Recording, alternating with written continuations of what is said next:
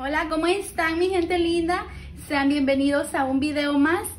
Bueno, ya se aproxima ese tiempo de frío y como que ya se empieza a antojar estos atolitos bien calientitos. ¿Qué les parece si me acompañan a hacer un rico atol de mazapán con semilla de marañón? Así que espero que usted me acompañe. Vamos a empezar. Para esta receta voy a estar usando 6 mazapanes. Este es el mazapán que está elaborado de maní o cacahuate como se conoce.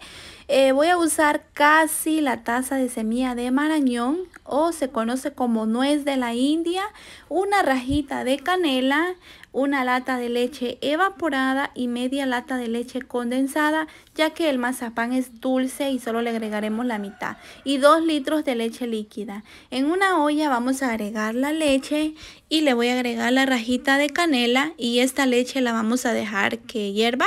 Y en todo lo que esta leche está hirviendo en una licuadora vamos a agregar la semilla de marañón, la lata de leche evaporada y la media lata de leche condensada. Si ustedes la quieren menos dulce, le pueden agregar menos.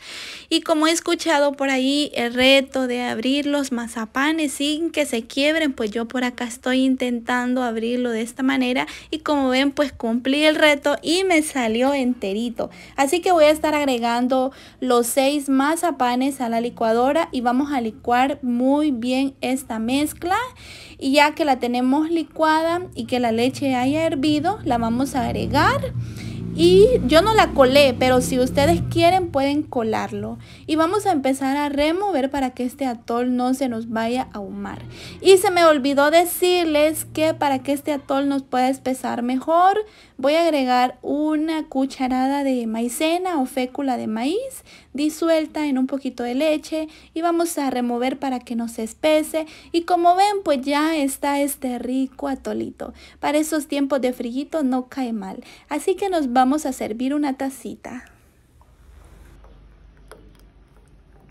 Y aquí nos estamos sirviendo nuestra rica tacita de atol. Miren qué rico. Y así queda nuestro delicioso atol de mazapán con semilla de marañón. Aquí le vamos a poner así. Y le vamos a poner unas semillitas de marañón. Así, encimita, para poder decorar este rico atol. Y así queda nuestro delicioso atol de mazapán con semilla de marañón. Y no podía faltar que yo tenía que probar este delicioso atol de mazapán. Una bebida muy sabrosa, mi gente, así que hágansela.